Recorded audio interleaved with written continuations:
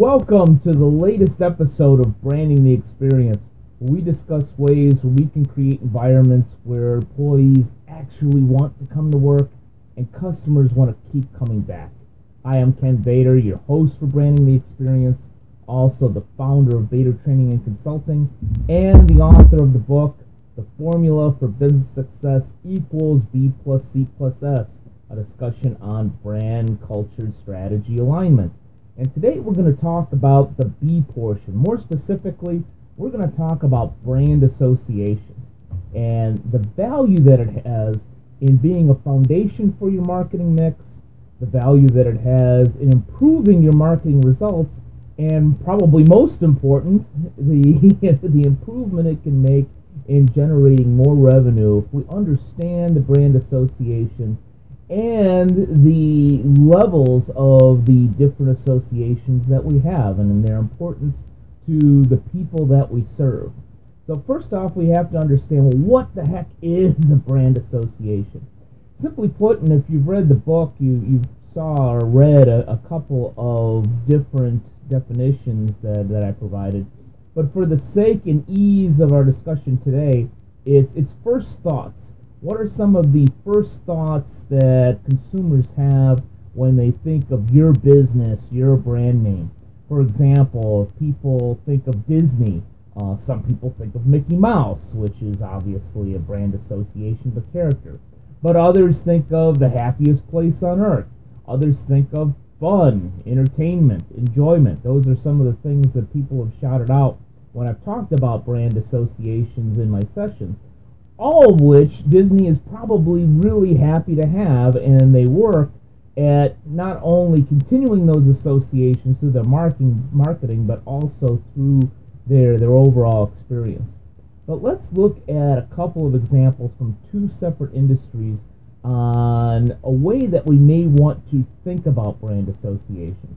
Those two industries, too, that I've worked with before one is restaurants, and the other is credit unions.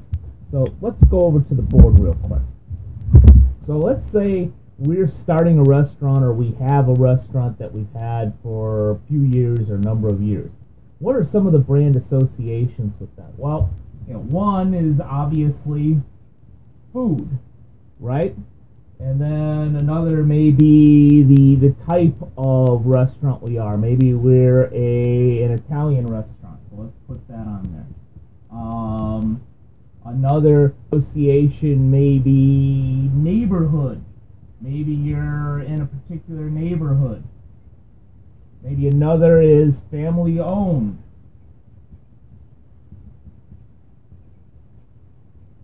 Maybe maybe yet another is friendly. Everybody greets you, you get a great experience and so forth.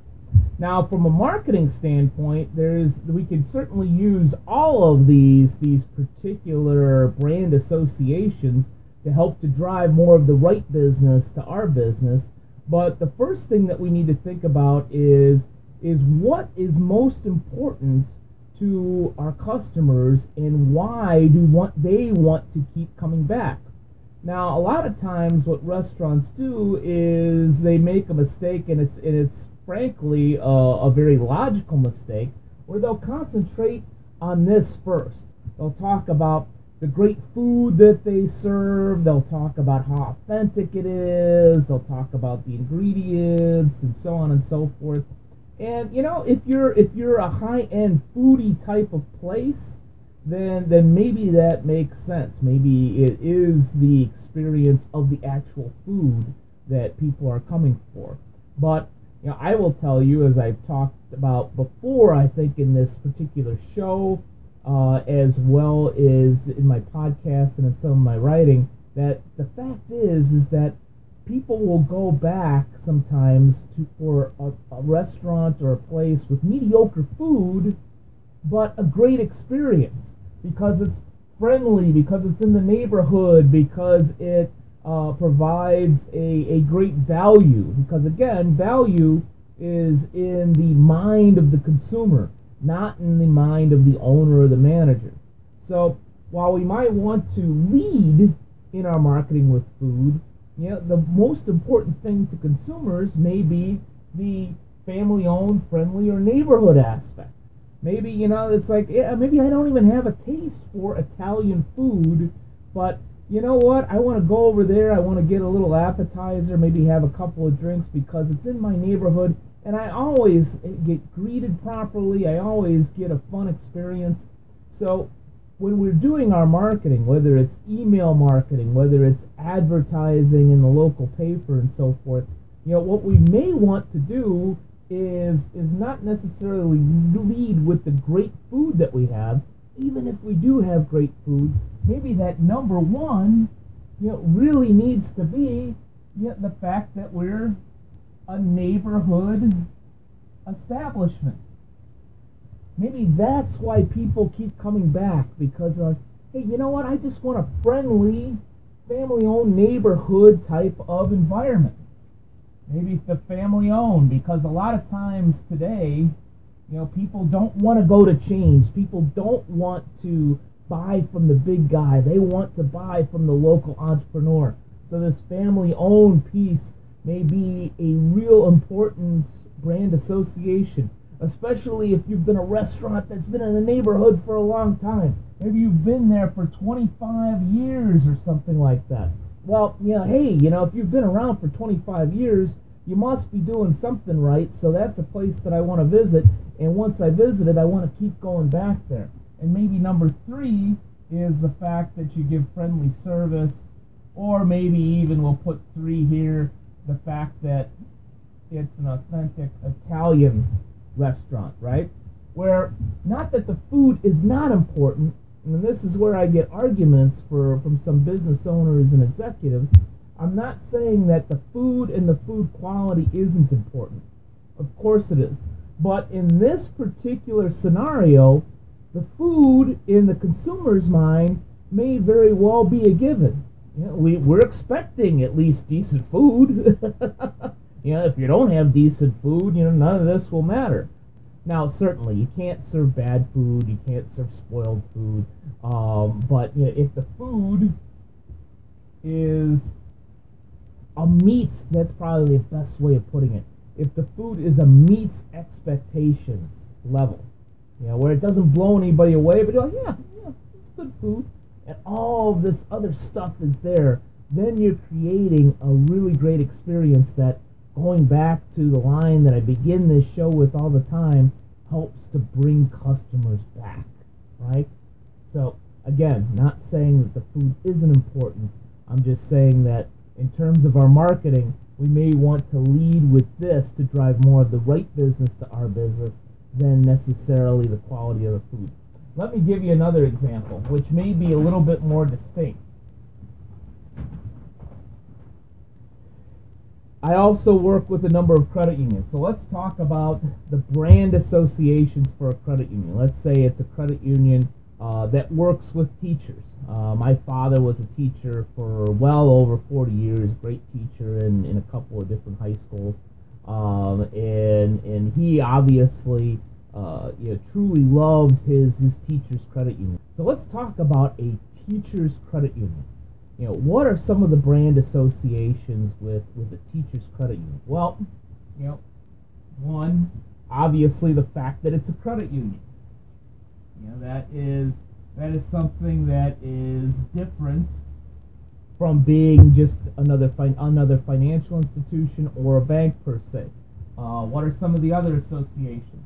Well, you know, obviously the particular schools that they serve, um, the other associations may be the, the products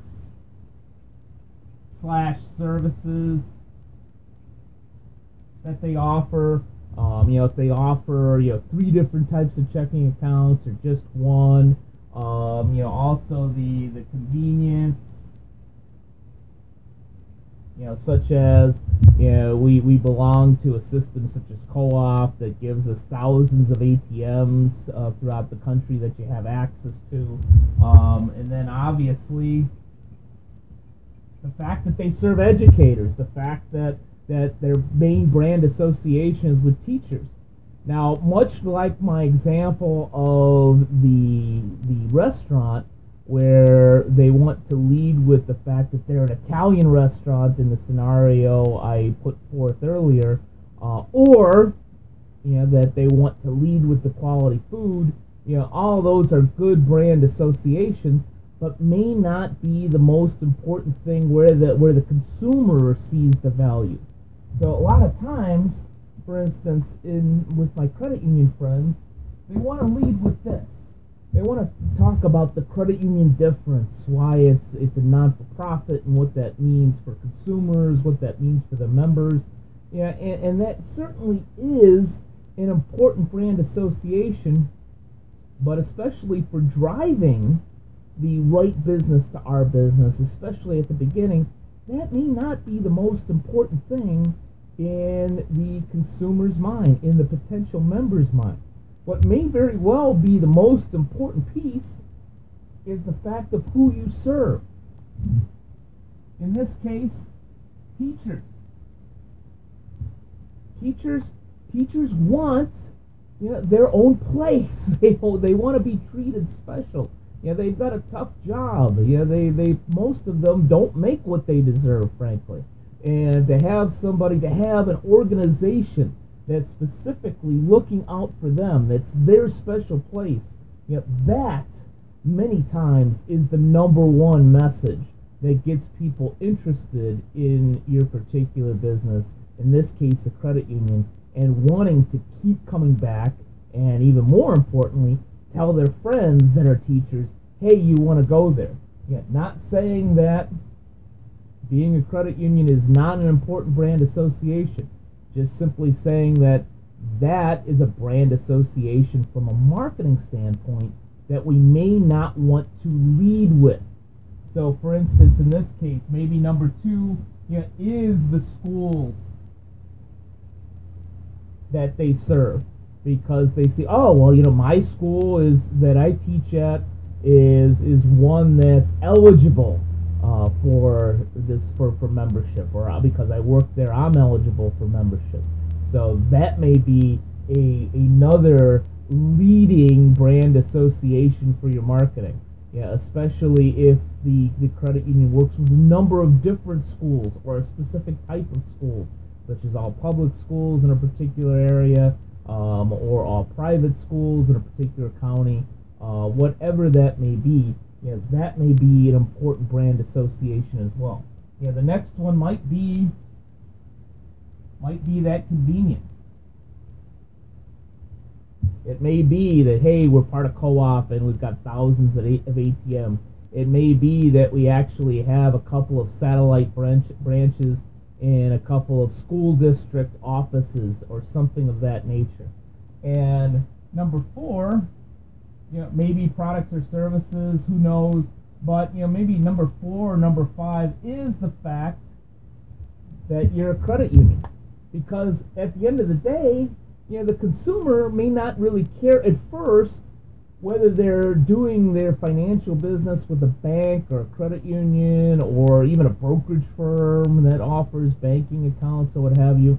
You know, they may care about you know what's what's really important to me, and that fact that you're a credit union may be that icing on the cake brand association, either in your marketing mix or when you actually drive them through the door and you're talking to them about the products and services and opening up an account, you know, how the credit union is that icing on the cake, then what that means for them as a particular member.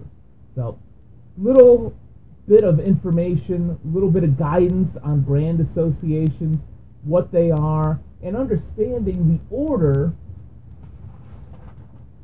that we may want to put them in in terms of our marketing message and how we think about our brand, and most importantly, how our customers, members, clients, consumers may see the value in those particular brand associations in order in their particular mind and in, their image of you. Thank you for spending a little bit of time with me today. Hope you were able to learn a little something on brand associations. Hope you were able to take an idea or two that you can apply to your business marketing and hope that you're having a great day in branding the experience at your organization. Take care.